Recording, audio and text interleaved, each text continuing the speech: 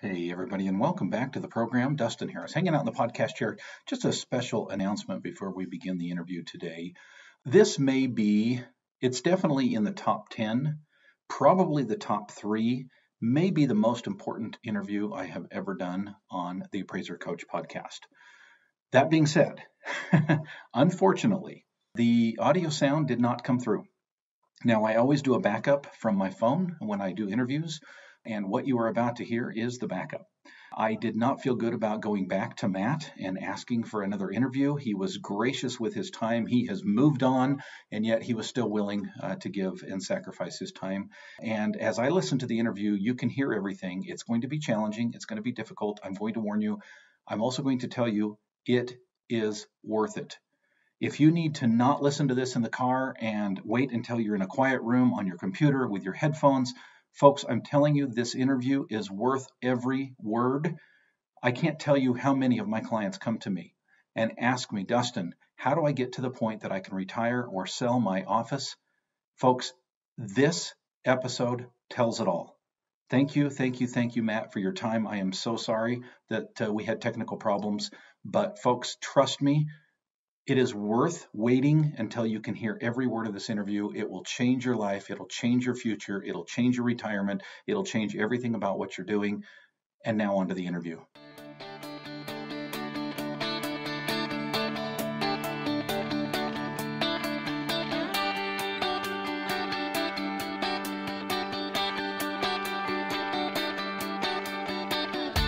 Originating from deep inside the Rocky Mountains transported through the power of the internet and arriving inside your tiny earbuds. It's the Appraiser Coach Podcast, helping appraisers increase their efficiency, quality, and make more money. Here's the guy who makes it his life's mission to create value for real estate appraisers nationwide. Your host and the appraiser coach, Dustin Harris. Welcome back to the program, everyone. Dustin Harris, the appraiser coach, hanging out with you in the podcast chair. I want to do a quick shout out to each of our sponsors. Uh, thank you to OREP Insurance. Uh, OREP has your back, folks. If you're with any other E&O, I highly recommend that you check out OREP, O-R-E-P.org. Again, it's OREP.org. We're sponsored, of course, by Alamode. Alamode helping appraisers to do more, helping appraisers to have the tools at their fingertips that they need to do their jobs. Alamode.com or 800 Alamode. And finally, we are sponsored, of course, by Datamaster. Datamaster is helping appraisers to save 30 to 60 minutes per report with the great technology that they provide. You can check them out by going to datamasterusa.com. Again, it's datamasterusa.com. Well, folks, I want to uh, reintroduce you to a good friend of mine, uh, Mr. Matt Frentheway out of uh, the Utah area. Matt uh, has been a member of my dream team for a very, very long time. Uh, you've been on the podcast before. But, uh, Matt, first of all, welcome to the program.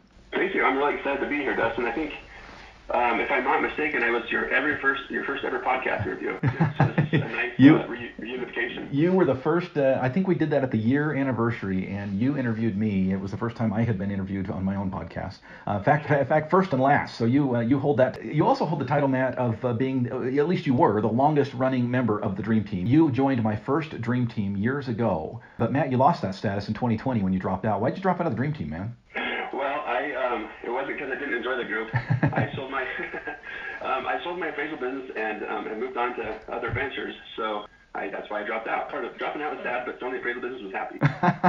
All right, my friend. So you've been you've been an appraiser for many many years. I know you've appraised in uh, in different states, most recently in Utah, as we talked about. I know Matt very very well. I know his work. Uh, I've reviewed his work, and uh, he's an excellent appraiser. Why would you sell an appraisal business, Matt? I mean, it, it was successful, right? It was running.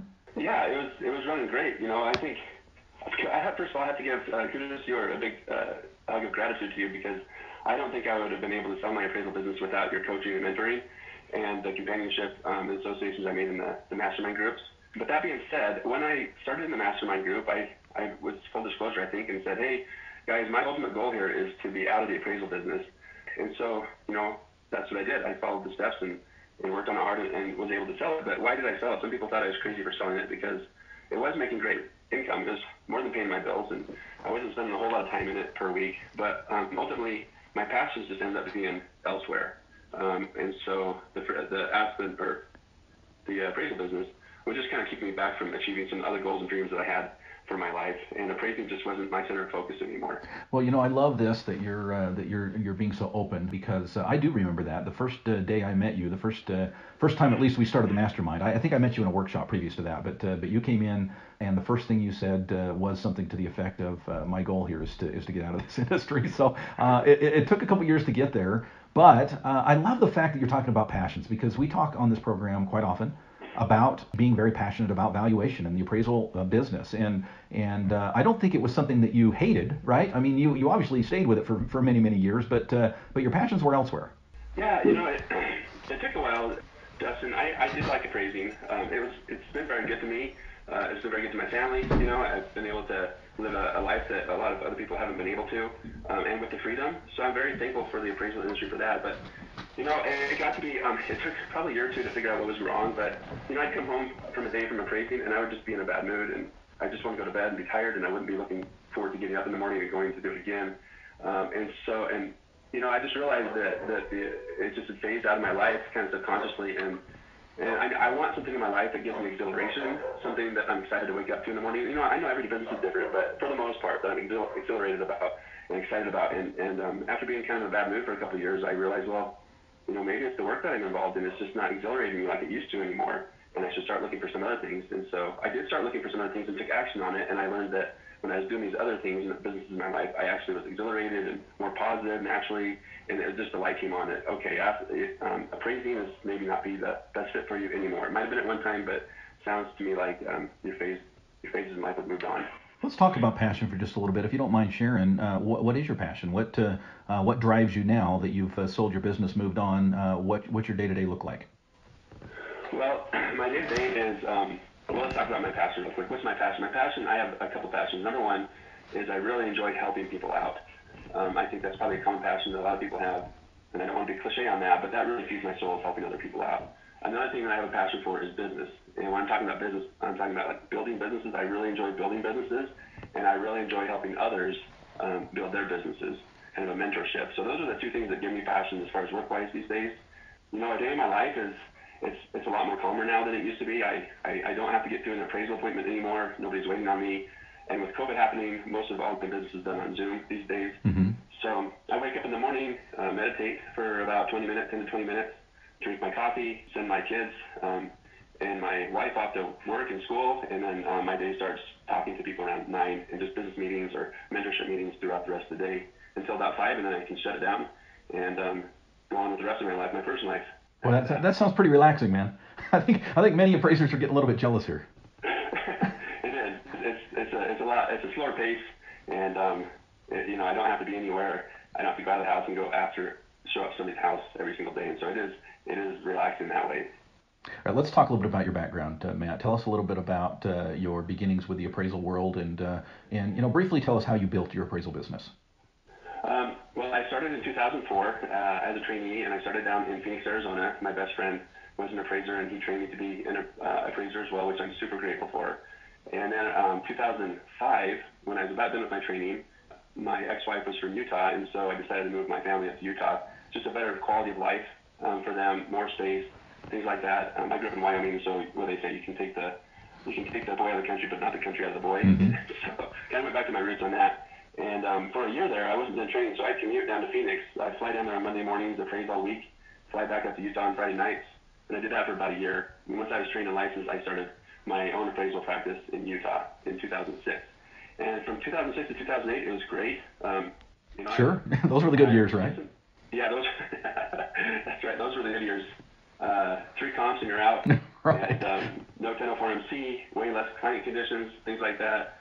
Um, so they were they were pretty easy years in the appraisal industry, and then 2008 happened, and kind of me and probably like most other appraisers out there, their world fell apart uh, with the recession and the AMCs coming on board, and um, you know it just was a rough rough time. So I um, I stuck it out, and around 2012 2013 business started picking up again, and um, and that's when I met you. I actually um, you had a, um, a VA service for a while. And yeah, VA service that's right.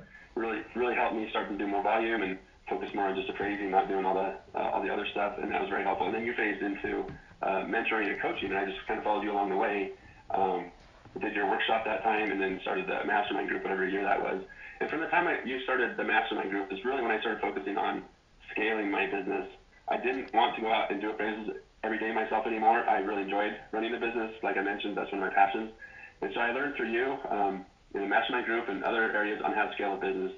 What I meant by scaling the business is the hiring back office staff, the schedule appointments, do the research, you know, the data research, um, data input, things like that um, for you so that I could just focus on appraising, um, going out to do inspections, choosing comps, writing the report, making adjustments is what my life came to.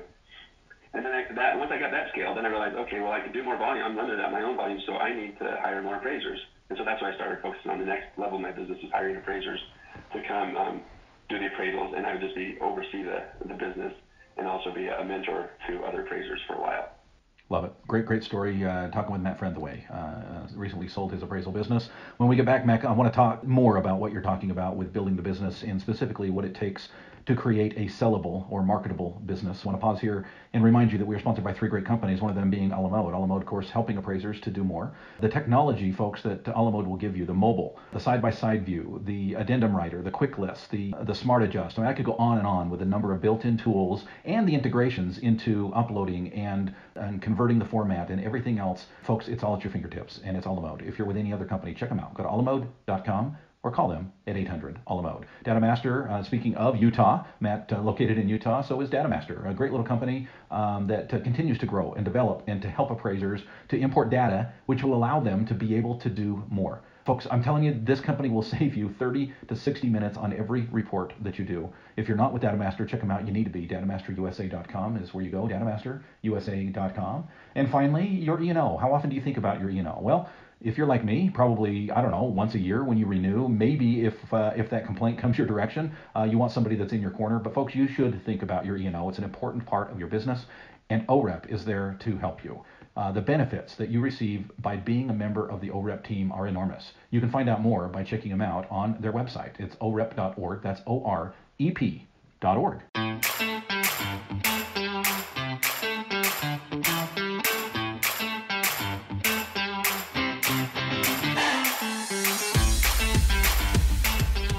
And welcome back to the program, everybody. Talking with a good friend of mine, a longtime member of the Dream Team in the Salt Lake Group, uh, Mr. Matt Frentheway. Um, Matt, welcome back to the program.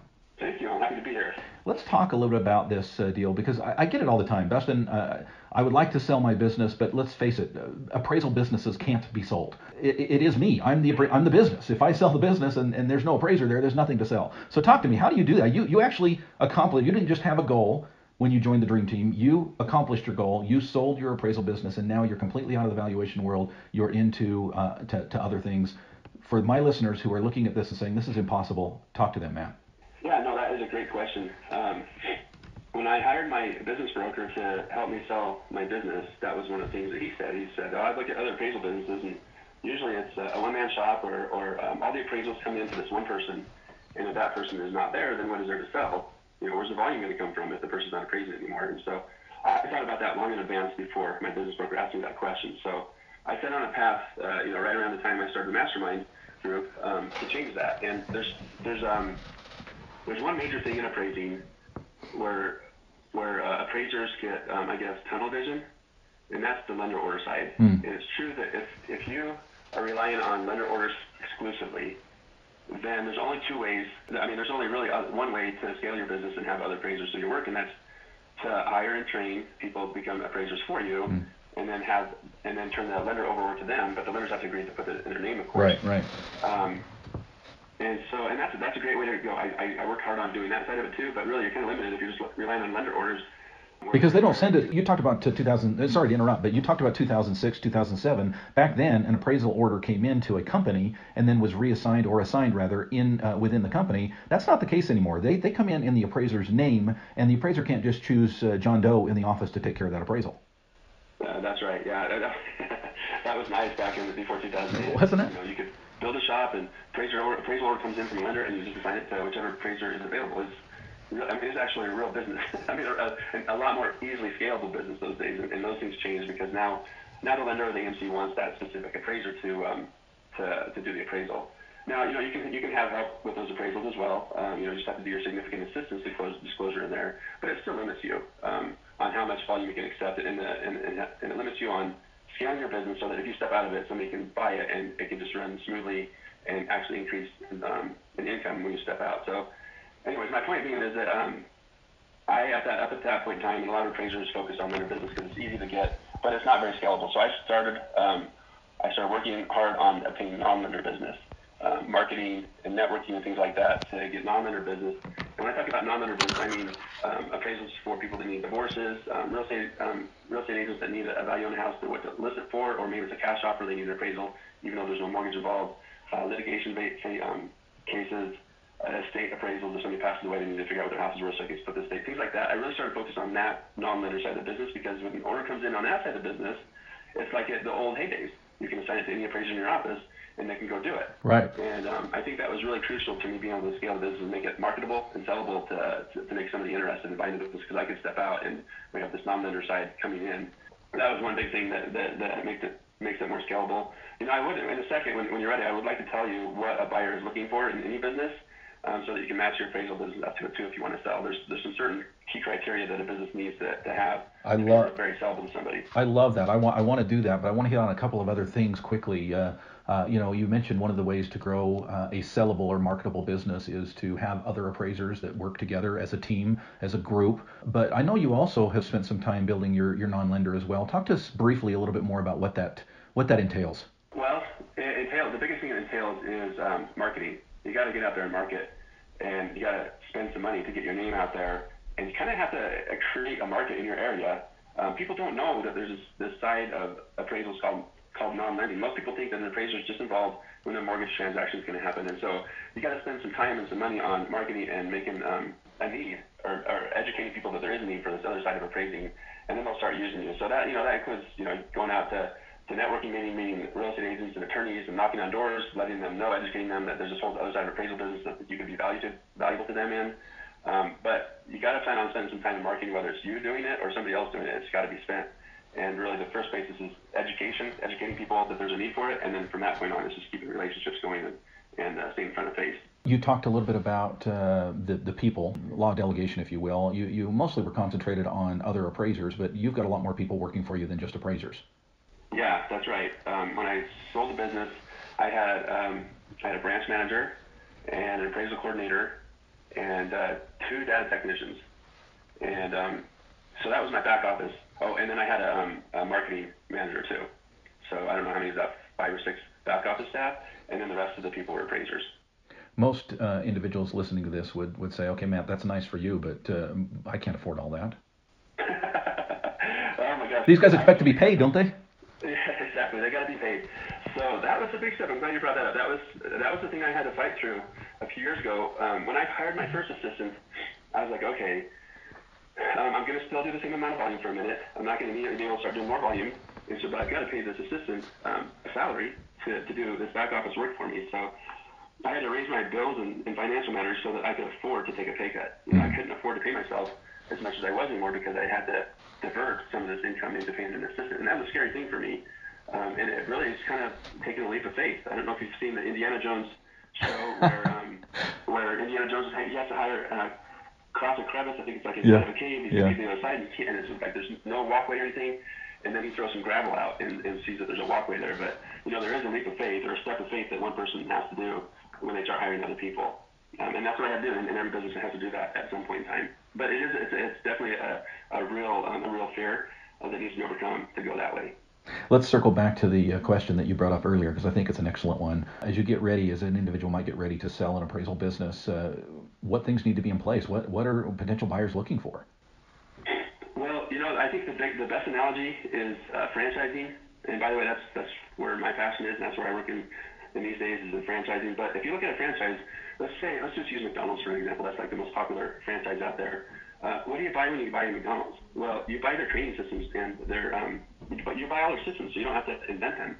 And so you can just open up a McDonald's and follow their system and be up and running.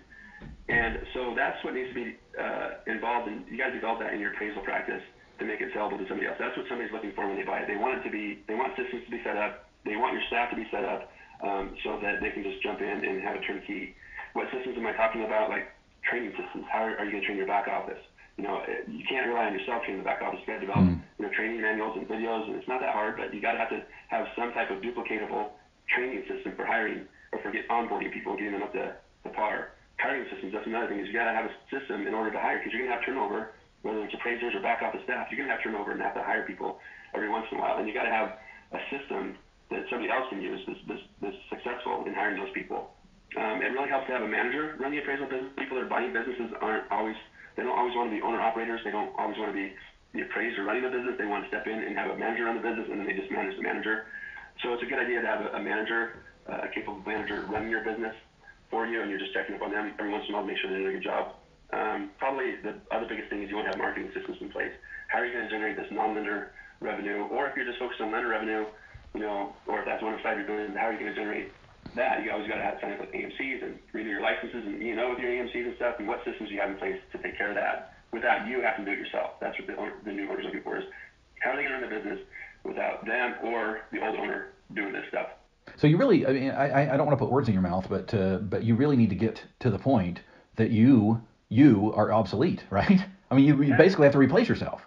Yeah, scale's kind of a, a big buzzword, and I've used that a few times. But you want to scale yourself out of the business. Doesn't mean you're not the owner anymore. It just means that if you wake up the morning and don't feel like working, the business runs without you, whether you're there or not. Well, I tell you, this is such a, a um, an unusual, unique uh, model that most appraisers just don't even think is possible. Uh, Matt, what did we miss? Is there anything else that you can add to the conversation that might help an individual who may consider, and not just selling a business, but uh, but I would say that all of these principles also relate to quote unquote retiring and moving into what I call the tier five level, meaning you might continue to own the business, but not necessarily be actively involved. Yeah, I think the biggest thing um, to just like for people to understand and envision what the appraisal business needs to look like is just think about a franchise. I use McDonald's, but there's a lot of other franchises out there. Think about all the things that a franchise has in place. Somebody buys a franchise. That's pretty much what you want to make your business um, into. Um, is you have all these systems developed, just like a franchise does. Because that's really what the new owners buying. They're buying, they're buying um, the systems, they're buying the um, human resources that you have in place, and then of course they're buying the volume that, um, that you have going on. So those, those are the biggest key points I'd say in, in when somebody's imagining building their business to sell.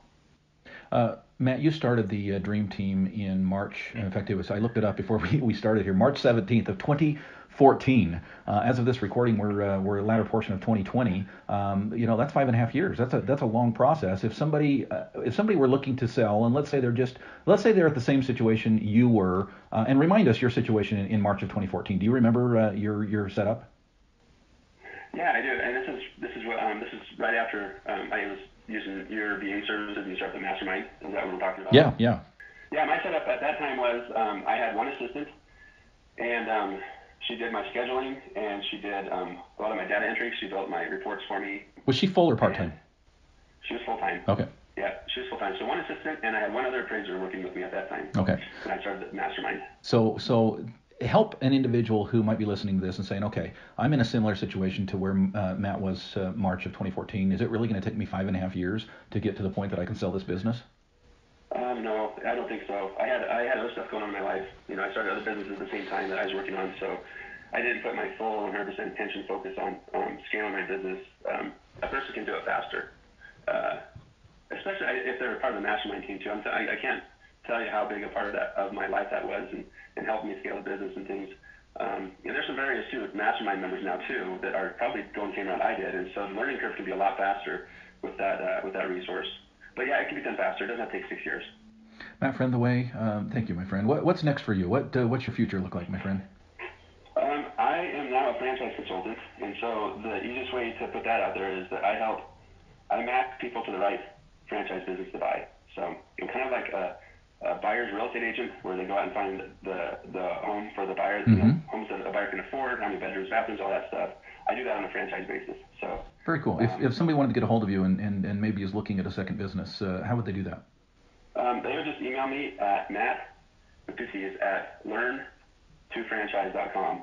And it's learn the number two franchise.com. Love it. Matt Frentheway, thank you uh, for, for being a friend. Thank you for your many, many years and your insights. Uh, you know, the great thing about the Dream Team is it's not one sided. It's uh, It truly is a mastermind where many individuals get together and share insights and help. And, uh, you know, throughout the years, I, I, can't tell how many how many times you brought just great, great things uh, to the to the meeting, uh, sometimes physically, bringing gifts to everyone in there, and but more importantly, mentally, and just sharing your insights. you'll be greatly missed, my friend, and I appreciate you taking time today. Thanks, Dustin. Thanks for having me on. And again, I'm super grateful for you and the mastermind team members in helping me get this done the past six years. That is Matt Frentheway on selling an appraisal business. Folks, if you are interested in being a part of the Dream Team, of course, we have seven of them across the country, one of them online. Uh, would love to have you be a part of that to a great group. Uh, reach out to me, the coach at theappraisercoach.com, or if you want to find out more, go to theappraisercoach.com, click on memberships, and all the information is there. Thank you so much, and we will catch you next time. You've been listening to the Appraiser Coach podcast with Dustin Harris. If you like what you hear, please give us a five star rating and post a short review on iTunes. For more in depth insider information on how you can make more money as a real estate appraiser, visit theappraisercoach.com and sign up for the All Star team today. Thanks for joining us. And now, get out there and create some value.